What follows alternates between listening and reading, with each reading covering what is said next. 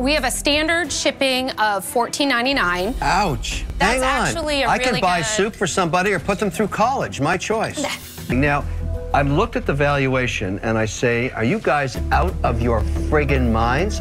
And I'm out, and now that offer is going to cost crazy. you more. 25 times cash flow for a tchotchke company. Are you out of your mind? Robert, I can't watch you kill money that way.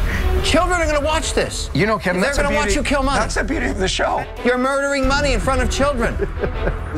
How is it possible that any of these other four Sharkettes are going to figure out to do a deal with you where they have to own more than 100%? Nick, I You've just studied you- Amy's You've really thing. moved me, and I want to. I want to read a poem. Okay. Oh, no. Oh, I really want to. I want to read a poem, and I've written it for you. This is that such a doesn't special happen very often. Okay. In cash, I know because I like to watch it flow.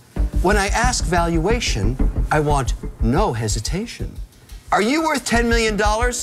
Hell no.